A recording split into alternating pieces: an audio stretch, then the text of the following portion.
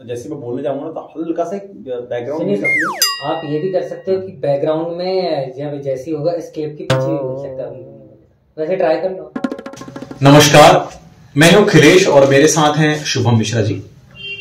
शुभम मिश्रा जी एक लोकगीत गाने वाले हैं जिसमें मैं उनका साथ देने वाला हूँ ढोलक वादन में।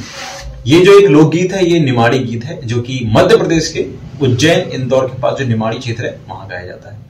तो लीजिए प्रस्तुत करते हैं। आई होप आप लोग को पसंद आएगा।